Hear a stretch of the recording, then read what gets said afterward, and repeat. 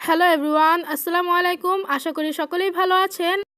আজ আবার নতুন আরেকটি রেসিপি নিয়ে চলে আসছি। তো আজ আমি তৈরি করে দেখাবো কেএফসি স্টাইল চিকেন ফ্রাই তো চলুন কথা না বাড়িয়ে আমরা রেসিপিতে চলে যাই। তো এখানে আমি প্রথমেই পাঁচটি লেগ পিস নিয়ে নিচ্ছি। কেএফসি করার জন্য লেগ পিস নিলেই খুব ভালো হয়। তো এখন আমি এগুলোকে ম্যারিনেট করার জন্য দিয়ে দিব হাফ চামচ মরিচের গুঁড়ি, দিয়ে দিব হাফ চামচ ধনিয়া গুঁড়ি দিয়ে দিব হাফ চামচ গরম মশলার গুঁড়ি আর হাফ চামচ জিরা গুঁড়ি। আর দিয়ে দিব দুই চা চামচ আদা রসুন বাটা। আর দিয়ে দিচ্ছি দুই টেবিল চামচের মতো সয়া সস। তো মাংসটা ভালোভাবে ম্যারিনেট করার জন্য দিয়ে দিব দুই টেবিল চামচ টক দই। আর দিয়ে দিব স্বাদ অনুযায়ী লবণ। যেহেতু আমি সয়া সস দিয়েছি, তাই লবণের পরিমাণটা বুঝে দিতে হবে। তো এখন আমি সবগুলো মশলার সাথে মাংসটাকে ভালোভাবে ম্যারিনেট করে নিচ্ছি। তো মাংসগুলোকে খুব ভালোভাবে মিক্স করে নিতে হবে যেন মাংসের ভিতরে মশলাগুলো ঢুকে যায়। তো মাংসগুলো মাখানো হয়ে গেছে, এখন আমি এক ঘণ্টার মতো এগুলোকে ম্যারিনেট করে রেখে দিব। তো মাংসগুলোকে কোডিং করার জন্য এখন আমি একটা বলে এক কাপ পরিমাণ ময়দা নিয়ে নিব, আর দিয়ে দিব স্বাদ মতো লবণ।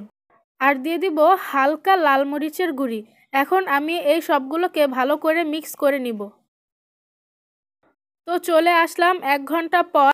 তো দেখুন মাংসগুলোর মধ্যে কেমন পানি ছেড়ে দিয়েছে। এখন আমি এই মাংসগুলোকে ভালো করে কোডিং করে নিব।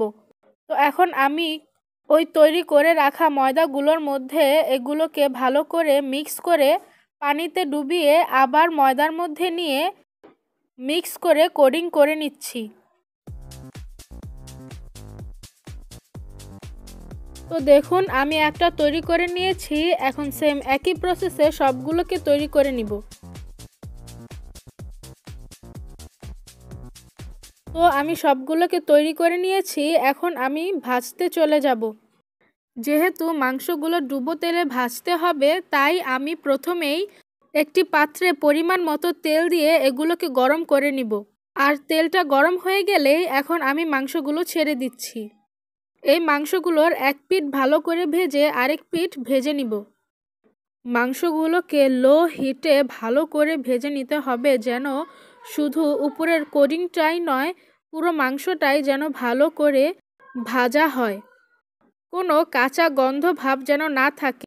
তো আমার মাংসটা ভাজা হয়ে গেছে, এখন আমি আপনাদের তুলে দেখাচ্ছি। তো সেম একইভাবে আমি আবার সবগুলো ভেজে নিব। তো তৈরি হয়ে গেল আমার restaurant style KFC chicken fry তো আশা করি আমার এই আজকের রেসিপিটি আপনাদের ভালো লেগেছে। ভালো লেগে থাকলে আমাদের পাশেই থাকবেন আর লাইক কমেন্ট শেয়ার সাবস্ক্রাইব অবশ্যই করবেন। আল্লাহ হাফেজ!